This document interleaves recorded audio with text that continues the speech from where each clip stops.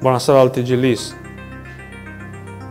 Per Nuoro oggi è il giorno del dolore, è difficile per una comunità accettare la morte di due loro membri di soli 13 e 15 anni per un gioco, di quelli che si fanno da adolescenti senza che si dia peso alle eventuali conseguenze, almeno a quelle più estreme.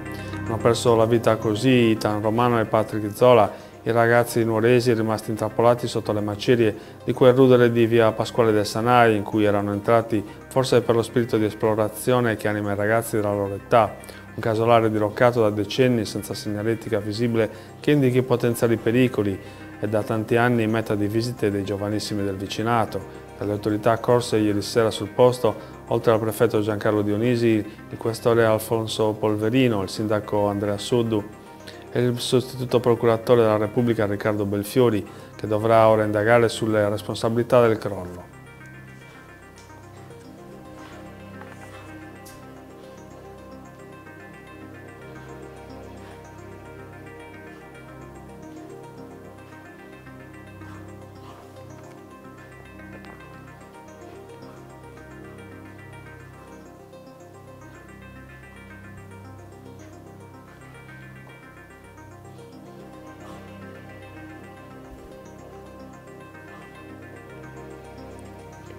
La tragedia che ieri a Nuoro ha spezzato la vita di Patrick Zola e Eitan Romano, gettando nella disperazione le loro famiglie, è avvenuta poco prima delle 20. I due ragazzi sono deceduti per il crollo del tetto di un rudere situato in un terreno posizionato a poche decine di metri dalla chiesa di San Domenico Savio.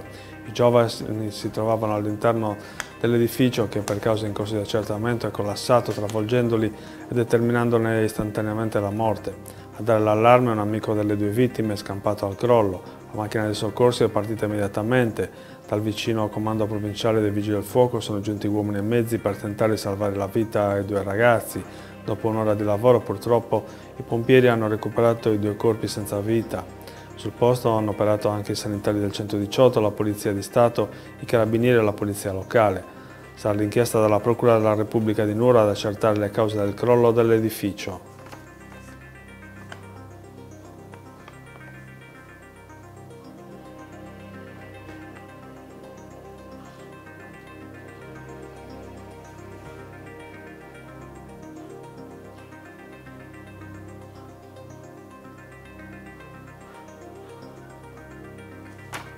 Il corpo senza vita di Concetta Reale, la pensionata 83enne originaria di Castrovillari in provincia di Cosenza residente a Zerfariu, scomparsa il 26 marzo scorso dal paese, è stato trovato stamattina all'interno di un canale a Zeddiani. Sul posto sono intervenuti i carabinieri e i vigili del fuoco di Oristano che hanno proceduto al recupero della salma e alla sua identificazione.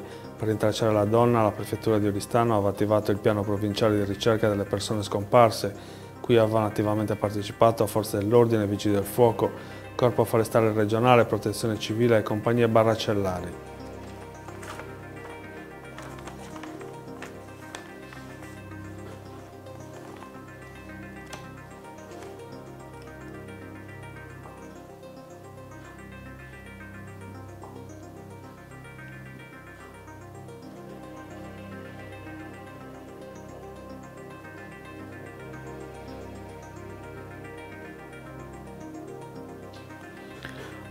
Dopo la breve pausa per il fine settimana di Pasqua inizia ora la volata decisiva per l'assegnazione delle 12 deleghe assessoriali prima del debutto in aula martedì prossimo della diciassettesima legislatura regionale.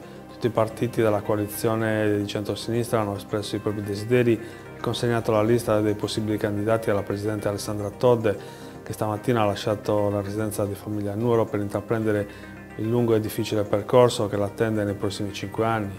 Primo step deve decidere chi tra Maurizio Melis, già primario di neurologia dell'ospedale Bruzzo di Cagliari, Antonio Davide Barretta, docente universitario Madallenino, Giovanni Maria Soro, direttore generale dell'Università di Sassari, Giuseppe Maria Secchi, già direttore generale dell'assessorato alla sanità, sarà nominato per la delega che sovrintende alla salute dei sardi. Il secondo step riguarda la scelta del commissario straordinario che andrà a sostituire il sindaco di Cagliari Paolo Truzzo.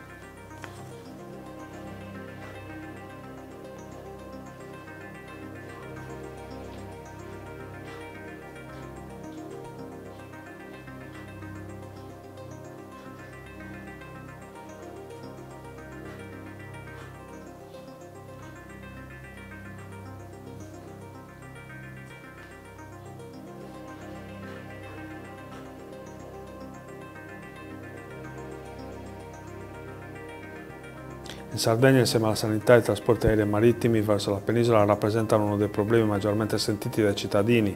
A rendere ancora più difficile la situazione è lo stato di viabilità interna che non risponde alle necessità dei residenti e dei vacanzieri. Su questo fronte la FILT CGL prosegue nel suo impegno per garantire a tutti i sardi non solo una migliore mobilità, così come sottolinea il segretario regionale Arnaldo Boedu, secondo il quale sulla questione della continuità territoriale aerea il vero problema è rappresentato dalle tariffe. Nelle prossime ore la Presidente Alessandra Todde presenterà la nuova giunta regionale. Al sindacato arriva una richiesta di attenzione alle problematiche di mobilità dei sardi, un male antico che è arrivato il momento di curare con efficacia ed efficienza.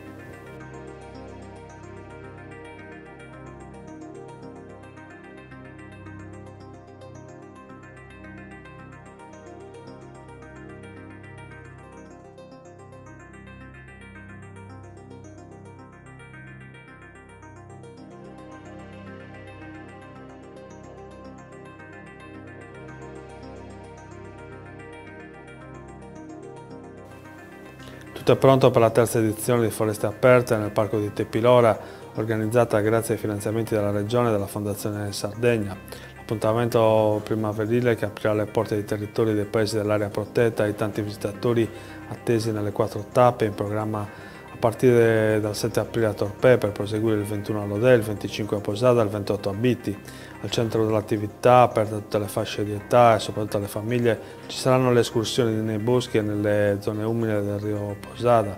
Si attraverseranno sentieri curati dal personale dell'agenzia Forestas, dove si verranno accompagnati da guide ambientali e dai volontari del CAI.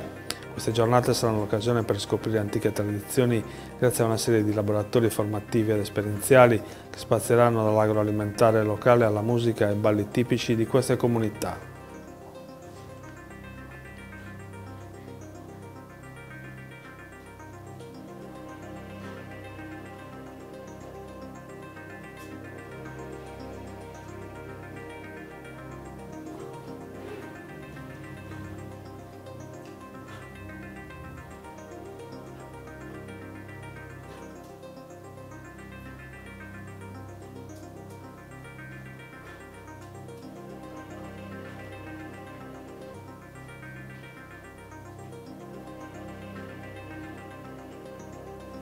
Grazie per averci seguito, arrivederci.